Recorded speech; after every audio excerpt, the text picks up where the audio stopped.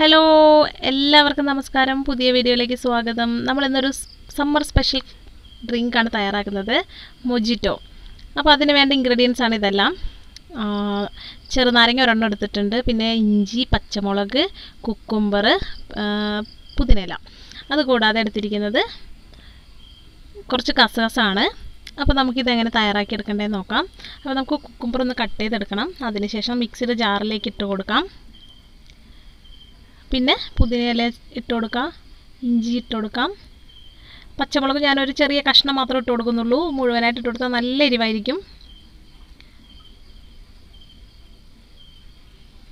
ഇനി ചെറുനാരങ്ങ മുഴുവനായിട്ട് നമുക്കിതിലേക്ക് പിഴിഞ്ഞു കൊടുക്കാം.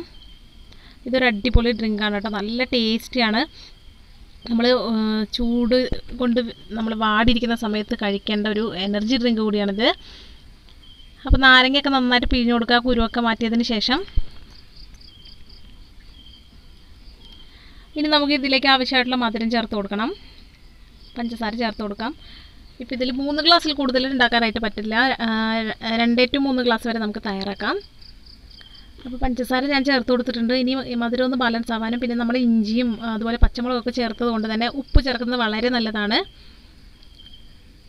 ഇനി നമ്മളിതിലേക്ക് നല്ല തണുത്ത വെള്ളമാണ് ഒഴിച്ചു കൊടുക്കുന്നത്. ഞാൻ ഫ്രീസറിൽ വെച്ച് നന്നായി തണുപ്പിച്ചെടുത്താണ്.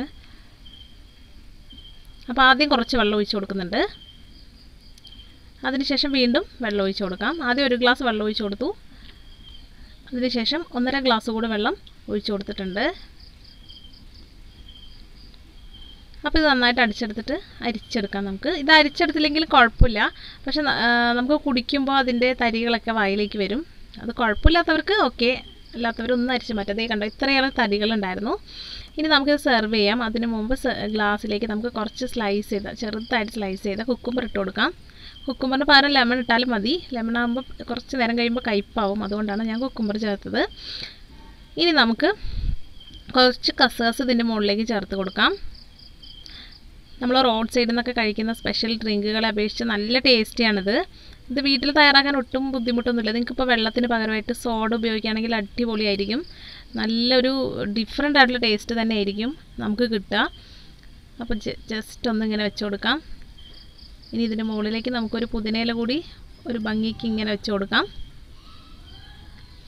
ഇത്രയുള്ളൂ നമ്മുടെ സമ്മർ ഡ്രിങ്ക് ഇവിടെ റെഡി ആയിട്ടുണ്ട്. നമ്മുടെ മൊജിറ്റോ റെഡി ആയിട്ടുണ്ട്. ഇത് എല്ലാവർക്കും ഇത് ഇഷ്ടമാവും ഏത് പ്രായക്കാർക്കും ഇഷ്ടമാവും ഒറ്റ വലിക്ക് കുടിച്ച് തീർക്കുകയും ചെയ്യും. അപ്പോൾ ഞാൻ പറഞ്ഞു വെള്ളത്തിന് പകരം സോഡ ചേർക്കുകയാണെങ്കിൽ ഇതിന്റെ രണ്ടിരട്ടി ടേസ്റ്റ് ആയിരിക്കും. അത്രയേറെ റീഫ്രഷിംഗ് ആയിട്ടുള്ള ഒരു ഡ്രിങ്കാണിത് നല്ല ടേസ്റ്റി ആയിട്ടുള്ള ഈ ഡ്രിങ്ക് നിങ്ങളും ട്രൈ ചെയ്ത് നോക്കുക ഈ ഒരു സമയത്ത്. താങ്ക്